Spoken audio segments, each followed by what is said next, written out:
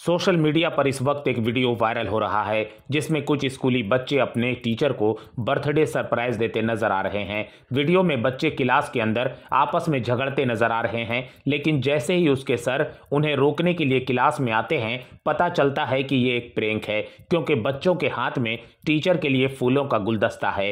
Internet पर तेज़ी से फैल रहा ये क्लिप नेपाल का है। इंटरनेट पर इस वीडियो को इंस्टाग्राम पर at the rate class twelve drums नाम के पेज से शेयर किया गया है। इसके साथ कैप्शन में लिखा है, प्यारे सुजान सर, जन्मदिन की हार्दिक शुभकामनाएँ सुजान सर। हमें आगे बढ़ाने के लिए, हमारे लिए हमेशा बेहतर करने के लिए धन्यवाद। हमारे दोस्त बनने के लिए शुक्रिया। हमें एक बड़े परिवार की तरह महसूस कराने के लिए शुक्रिया। हमने आपसे इतना कुछ सीखा है, जितना किसी भी किताब के पन्ने हमें नहीं सिखा सकते। हो सकता है कि ये एक शरारत थोड़ी ज़्यादा हो गई हो, लेकिन आपकी कोशिश साफ़ तौर पर यह ज़ाहिर करता है कि आप हम सभी की कितनी परवाह करते हैं। आपको बहुत सारा प्यार डी सेक्शन वीडियो में देखा जा सकता है कि क्लास के कुछ छात्र आपस में झगड़ने की एक्टिंग करते हैं। इनमें से एक स्टूडेंट जाकर सुजान सर को लड़ाई रोकने के लिए बुला कर लाता है। क्लास के अंदर एंट्री करते ही वह दौड़कर झगड़ रहे बच्चों के पास जाते हैं और उन्हें अलग करने की कोशिश करने लगते हैं।